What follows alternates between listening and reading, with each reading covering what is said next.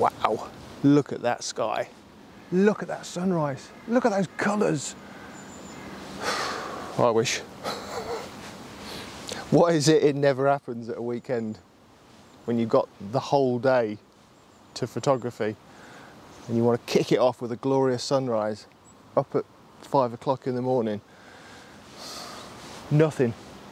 Zilch. Nay colour. Never mind. I'm out. Um, and where am I out? This morning I am at Bawsey Pits or Leziate Lakes. I came here last year very briefly actually. Um, I don't think I shot a vlog here. I think I might have shot a little bit of footage that I mixed into uh, a compilation vlog, but it's an interesting place because it's it's quarry pits, um, sand banks, which attract a lot of people in the summer to swim really. And I think actually it's got a bit of a tarred history. I think last year there was, uh, unfortunately, people got into trouble swimming here. Um, and I believe one was, was fatally injured, I think, but there's signs everywhere to say no swimming, but it does attract people in the summer because it's got some nice sort of sandy beaches around the lakes. But um, it also has a load of silver birch around the lake, which of course this time of year look very colourful. So I thought I would just see what it looked like really at the moment. Um, but of course it looks gorgeous, but we've got no light, no light at all. Um, there is a little bit of blue sky coming over there, so maybe it might push over. Weather conditions this morning aren't great either. We have some wind, as you can probably see. Um, rain expected later, not ideal. So what I plan to do today is to spend a little bit of time just exploring this place here to see if we get any light, see if I can get any shots.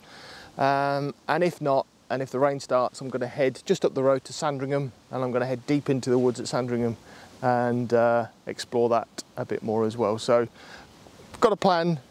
It will probably end up at the woods as it normally does.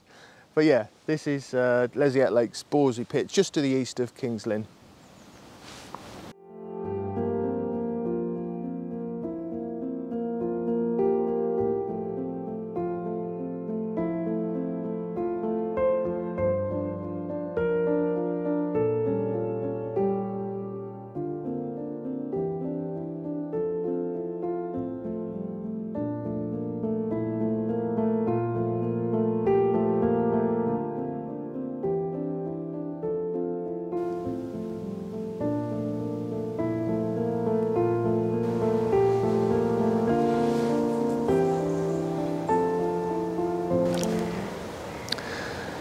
So just took a couple of shots there across the lake with the long lens on, the 100 to 400, just to try and pick out some of those silver birch trees over the other side of the lake as we got a bit of light hitting them. It's very windy, so um, I've upped my ISO to 640, I think, just to try and get a shutter speed of about hundredths of a second, which probably won't be enough to freeze the leaves and the branches, but uh, the trunk should be sharp. And yeah, when that light hit, it was a nice little bit of colour. So see what they come out like. But yeah, I'm really enjoying the Sony so far. Really enjoying. I've been out uh, a couple of times with it. This will be the third time since my last vlog. Apologies for the delay in releasing another one. I did, as I say, I've been out a couple of times, went to Holme Fen, surprise, surprise, uh, with the Sony. Uh, anybody that follows me on social media, on uh, Instagram or or on Twitter will have seen uh, that I've been posting some shots at Holme Fen um, in the autumn gold. Uh, really nice colours down there at Holme Fen at the moment. And I'm really enjoying practicing with the Sony. It's been, it's been great. I'm really impressed with it so far. I'm impressed with sharpness of both lenses. Uh, once I'd figured out I had to take the optical stabilisation off of the, uh, uh, the long lens on the tripod, I made a mistake and couple of you pointed that out, so thanks for that. Uh, but now I'm really impressed with the sharpness of the images. I'm really impressed with the detail that you're getting from the raw files, the colors that are in them.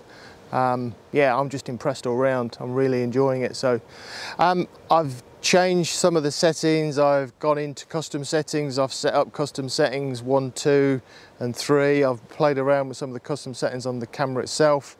Uh, and I think that's the key to the Sony as I understand it. It's, it's once you've got to know the menu um, and what you're going to be using the camera to shoot and mine is landscape nearly all the time Um, I've just set up the custom settings so they're right for me, so I really don't have to mess around with any of those settings once I take the camera out. Um, I've put the video settings also in the custom settings so I can flick to video and take some B-roll using the uh, camera, which I want to do as well. So yeah, all set up, working very easy, really enjoying it.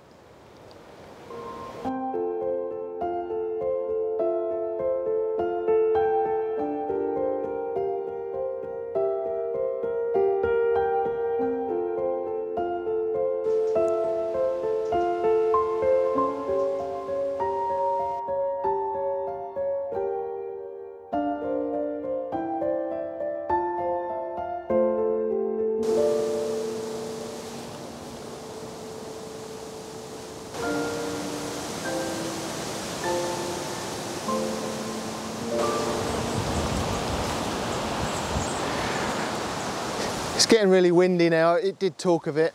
And whilst it's dry, I'm really not that keen on this wind. There you go. So what I think I'm going to do is I'm going to head just up the road to Sandringham into the woods, get inside the, uh, the dense woods there at Sandringham, look for a few clearings so we can get a bit of light. It does talk of rain, as I say. Uh, as long as it's not too heavy, I don't mind. That will just help enrich some of the colours if it does rain. But yeah, I think I'm gonna call it here at Bawsey and I'll see you in a few seconds up at Sandringham.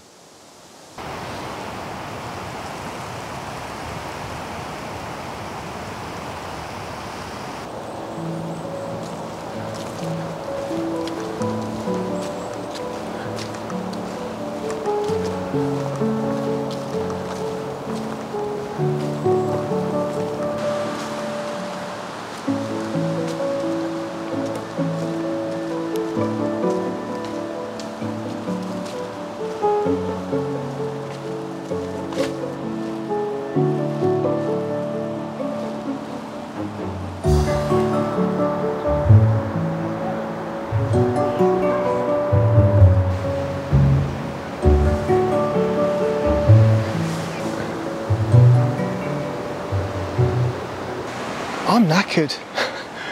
I've just walked for probably a good hour around here at Sandringham Woods. And whilst it's beautiful, you know, we've got all the autumn colours out. You know, there's autumn colours on the floor, the trees. It's just, it is gorgeous. But I was, and I am, still struggling photographically to get something that really just jumps out at me. I think the trouble with this time of year is that although they do look nice, they do look sometimes just like autumn snaps, um, taking pictures of the, the colours. You know, and I think the a lot of the shots I've taken recently at home, I absolutely love them, but you get to a point where I think it gets a bit samey. So I've just tried to get something a bit different. Um, just to show that I'm thinking really rather than just seeing, oh, there's some nice colours. Oh, it's, uh, it's got some contrast behind it, let's take the shot. So as I say, I've been walking for absolutely ages and I am starving. Um, and I think there's rain coming. But what caught my eye, and it's odd really, was um, there's a tunnel of trees that take you to a clearing at the back of the forest there. And in that clearing at the back, there is some orange and, and yellow leaf trees and a couple of trees that are forking over to the edge. I'll show you in uh, what I've got set up in camera at the moment just so you can see and I'll talk you through it. So the the background was what drew me to it and it was lit and every now and again we get a bit of light on it and that really punches out and then this sort of tunnel of um, of trees either side with the trees over the top arching over creates a natural frame and then the greenery around the outside. It's just a natural vignette. Um, and it, it, yeah, it stood out to me. So I think this should be okay. Um, as you'll see, I've had to put the tripod up really high to get above the, um, the greenery at the base here, just so I can actually get down that tunnel of, uh, of trees to see the background. So I'm literally at, I think I'm about 300 mil on the, uh, on the lens, got it up high, I've put a five second timer on um, and just really tried to catch when the wind isn't blowing quite as much. I think I'm up at ISO 800 as well. So, you know, I'm still only getting a shutter speed of about 40th or 50th of a second. So, you know, it's, it's not great. And that's because there's not a lot of light here. But it should be enough. And if I get a little bit of movement in the leaves, it's not the end of the world.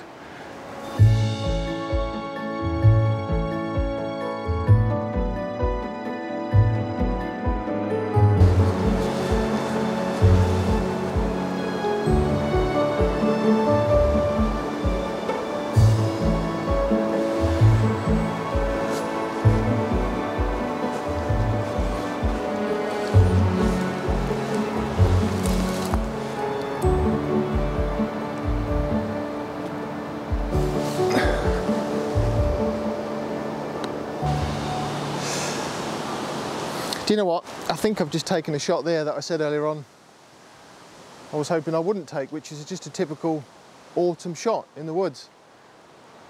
It's a nice shot, don't get me wrong.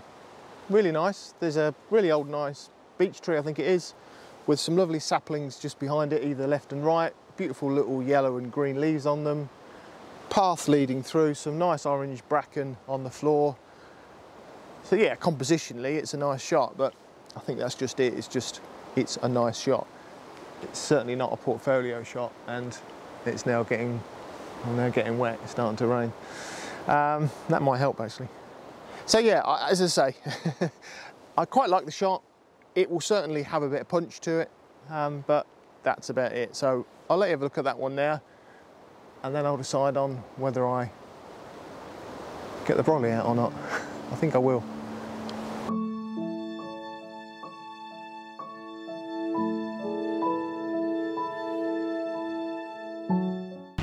Well, as you can see, it is now raining. And I've had to resort to putting the brolly up. And I've also resorted to filming on the GoPro. Because my vlogging camera isn't waterproof. Um, so I hope the sound quality is okay. The colours are really coming out now, as expected when it rains. Um, really rich. And this scene behind me here really caught my eye. Um, there's some the, pine trees on the left hand side lead you down to a single pine tree right at the end of the path right in the middle of the frame.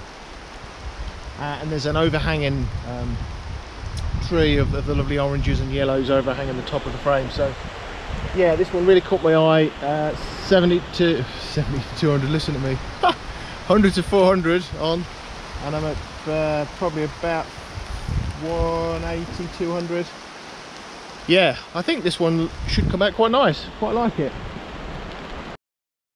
Okay, so I'm going to be honest here and let you know that I really didn't have a mono in mind when I took this shot. However, when I looked at it on the big screen, the overhanging tree with the, the oranges and yellows, it was just dominating the frame and just taking up too much of the image. Uh, and you, you lost the interest of the path with the tree at the back.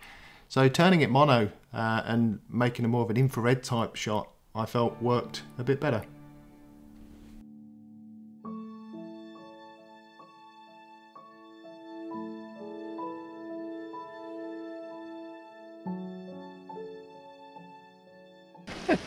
I tell you what, the rain has made today for me.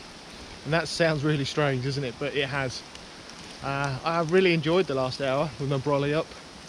I managed to grab a couple of extra shots um, yeah, and the rain, it does do as they say in, in the woods. It saturates the colours and it creates that sort of additional sort of misty feeling in the background where, where certainly when it's heavy rain, which it has been here, it's just stopped a little bit now, but yeah, great fun. So I'm pleased it rained, but the rest of the morning's been okay. Obviously I didn't get the light first thing this morning, but managed to get out to a couple of locations this morning. So I hope you've enjoyed watching me on both of those locations. And until next time, I am going to go and get something to eat because I'm absolutely starving. I've not eaten since five o'clock this morning, probably now about one o'clock in the afternoon, and I'm knackered. But I've had a good day. So until the next one, I'll see you soon.